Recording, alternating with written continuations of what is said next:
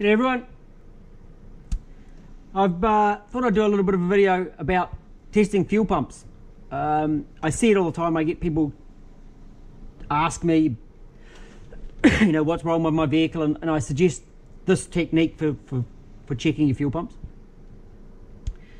This one actually happens to be a a V6 Surf or 4Runner if you're in America. Uh, the vehicle isn't that important in most cases. Uh, uh, the technique is the is the way. So this vehicle actually came had, has a little bit of an idle issue. Had an, had an idle issue. So I removed the EGR valve and got rid of that, blanked it off, and the idle's pretty well right, but it still lacks power a little bit. They're not the most uh, wonderful vehicle in the world, but they normally go better than this one. Had the scan to in just to check a few bits and pieces, and I suspected after driving it that, that their mixture was a bit lean.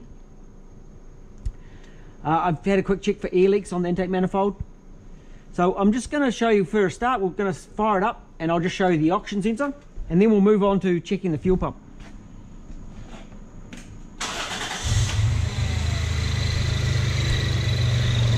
So I had the scan tool attached and what I it was just saying it was lean all the time. So I came into I, I put my my probe here into OX1 in the diagnostic box. And what you'll see is if I bring it up if I give it a rev it'll actually show some oh it's showing a little bit of voltage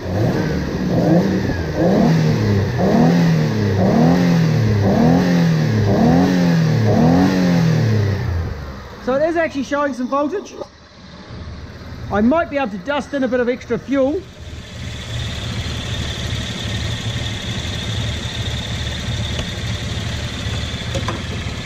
And see if we can get some voltage happening. And there we go. You see the sensor is actually, when I give it some fuel, it does actually come up in voltage. I would like to see up to one volt if I get it really rich. But you can see if I give it just a little bit of more mixture, the engine idles even nicer again.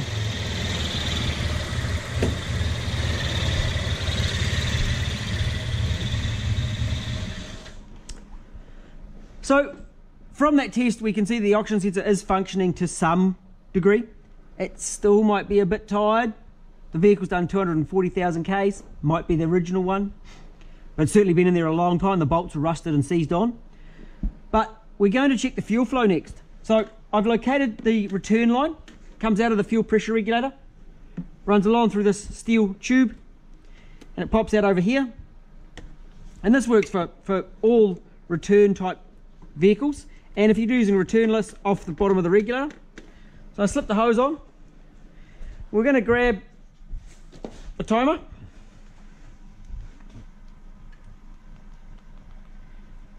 We'll flick in the, the old uh, clock here. Got the stopwatch and I need a container, a measured container. Just happen to have a jug here.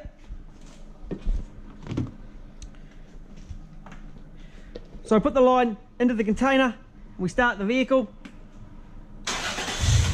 and start the timer. And straight away we can see that it is quite a pathetic dribble. So we're going to run this for 30 seconds. So at this point, most of the fuel is coming out the return line. The injectors are going for three milliseconds, probably about a one, one and a half duty cycle, percent duty cycle. We're up to 20. So watching that timer, watching that dribble of fuel. And that was about 30 seconds. We have a look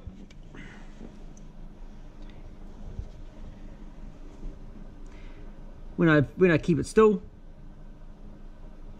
Maybe maybe 300 mils if I was feeling really generous on it. so that's 600 mils a minute. Um, that isn't going to run the engine very well at all. Um, times 60, 36 litres an hour. So that really needs to be, I would like to see 100 on this vehicle. If it was a, a V8 Lexus, I'd want to see 120. So basically, that fuel pump's got an issue. It needs to be uh, replaced, most likely. Uh, we probably should check the fuel filter first. Um, and it should get a new fuel filter when you put a new fuel pump in anyway. So we're going to look at that. So that's a really simple way of, of checking your fuel flow. Uh, I'm aiming for, I'd like to see a litre when I'm doing a a V8, a litre in 30 seconds, 2 litres a minute, 120 litres an hour, nice and simple. So 300, pro, 300 mils probably isn't enough. I hope that's helpful. Um, I might even do a test afterwards and we'll see how this one comes up. Um, I don't have time right now to change the fuel pump, but that will get done in the, in the next little while. Talk to you later.